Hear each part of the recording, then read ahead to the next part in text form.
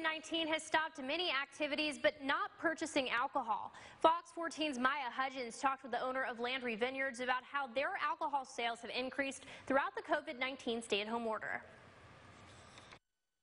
Due to COVID 19, alcohol sales are booming. More Louisianans are drinking local Louisiana wines as restaurants, clubs, and bars have been closed. In result, consumers picked their drinks up at grocery stores. Um, so our sales through our wholesaler have gone up significantly, um, maybe 20 to 40 percent and um, you know we that is starting to come back down now. As people head back to work and restaurants open up, the wholesales percentage will return back to normal. However, Jeff Landry, owner of Landry Vineyards, says COVID-19 did leave an impact on their direct consumer sales as tasting rooms and events were canceled. It did definitely hurt our direct to consumer sales, and uh, a small producer like ourselves we do rely on uh, a, a, significant part of our sales coming from directly from the consumer.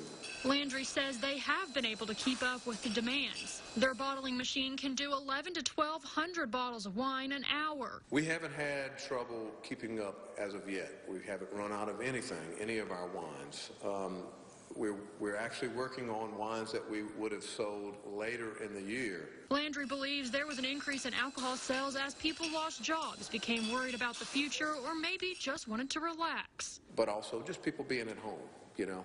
Uh, if you have idle time and you're together with your family, a lot of people drink a little bit, drink a little wine, drink a little beer. In West Monroe, Maya Hudgens, Fox 14 News.